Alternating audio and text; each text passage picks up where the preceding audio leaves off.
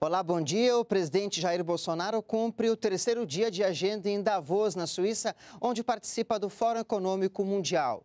Os destaques de hoje são encontros com chefes de Estado e de governo, além de debates. Quem está lá nos Alpes Suíços e tem mais informações para a gente é a repórter Daniele Popov. Boa tarde, Daniele. Olá, Paulo. Bom dia para vocês aí no Brasil. Boa tarde aqui em Davos. Eu estou no hotel onde está hospedado o presidente Jair Bolsonaro. O presidente está aqui em Davos, na Suíça, para participar do Fórum Econômico Mundial. Né? Lembrando que esse encontro, esse evento, é uma oportunidade de intercâmbio né, de negócios entre instituições, empresas e governos. O amanhã do presidente não teve compromissos oficiais, mas ele concedeu entrevistas aqui no hotel, uh, entrevistas para veículos da imprensa. Ele falou para a agência de notícias americana Bloomberg e para o jornal The Washington Post. E logo mais à uma da tarde, o presidente Jair Bolsonaro participa de um almoço com o tema O Futuro do Brasil. Na parte da tarde, ele tem outras reuniões bilaterais. Ele vai se encontrar com o primeiro-ministro da Itália, Giuseppe Conte, e também com o presidente da Suíça, Welly Meurer. O presidente vai fazer ainda uma declaração à imprensa e depois volta aqui para o hotel dele, onde ele está hospedado, para mais uma reunião bilateral, desta vez com o primeiro-ministro do Japão, Shinzo Abe. Bom, no início da noite, Jair Bolsonaro participa de um painel uh, chamado Diálogo Diplomático Resposta Global à Crise Humanitária na Venezuela. E à noite ele segue para outro jantar, para mais um jantar, né? Ontem ele participou de um jantar, hoje um outro jantar com líderes uh, latino-americanos. Bom, Paulo, ontem, né, a gente trouxe aqui uh, durante toda a programação, foi o primeiro dia lá na sessão plenária no Fórum Econômico Mundial e o presidente Jair Bolsonaro, ele fez esse discurso de abertura, né, o primeiro presidente latino-americano a falar na abertura da plenária. Vamos ver como foi na reportagem. O discurso durou cerca de oito minutos. Em sua fala no Fórum Econômico Mundial, o presidente Jair Bolsonaro agradeceu a oportunidade de mostrar ao mundo o novo Brasil que está sendo construído. Temos o compromisso de mudar a nossa história. Pela primeira vez no Brasil, um presidente montou uma equipe de ministros qualificados, honrando o compromisso de campanha não aceitando ingerências político-partidárias que, no passado, apenas geraram ineficiência do Estado e corrupção.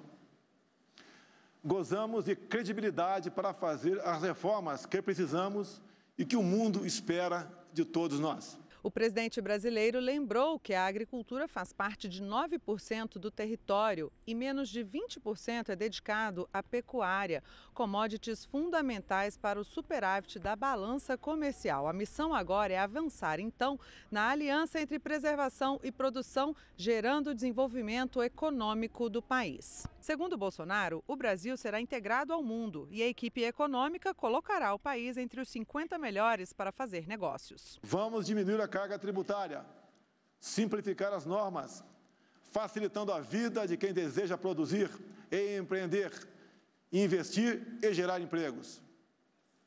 Trabalharemos pela estabilidade macroeconômica, respeitando os contratos, privatizando e equilibrando as contas públicas. O Brasil ainda é uma economia relativamente fechada ao comércio internacional. E mudar essa condição é um dos maiores compromissos deste governo. O presidente destacou que a política internacional não terá viés ideológico. Vamos resgatar nossos valores e abrir nossa economia. Vamos defender a família, os verdadeiros direitos humanos, proteger o direito à vida e à propriedade privada e promover uma educação que prepare nossa juventude para os desafios da quarta revolução industrial, buscando, pelo conhecimento, reduzir a pobreza e a miséria. Ao final do discurso, Jair Bolsonaro convidou os investidores estrangeiros a fazerem negócios com o Brasil. Queremos parceiros com tecnologia para que esse casamento se traduza em progresso e desenvolvimento para todos. Nossas ações, tenho certeza, os atrairão para grandes negócios, não só para o bem do Brasil, mas também para o bem de todo o mundo. Estamos de braços abertos. Quero mais do que um Brasil grande, quero um mundo de paz, liberdade e democracia. Também na abertura, o fundador do Fórum Econômico Mundial, Klaus Schwab, ressaltou a importância do Brasil. I think Brazil is important for the world. It's um, a great country. It's important for global nature. It's important for global economy. So all our best wishes accompany you on your journey. E nas perguntas feitas por Schwab a Bolsonaro, temas como a integração do Brasil, o presidente disse que é preciso realizar mudanças. Tocante à América do Sul, é, eu tenho certeza, ao conversar com os líderes regionais, eles querem que o Brasil vá bem. No tocante ao Mercosul, alguma coisa deve ser aperfeiçoada. Nós estamos preocupados, sim, em fazer uma América do Sul grande, que cada país, obviamente, mantenha a sua hegemonia local.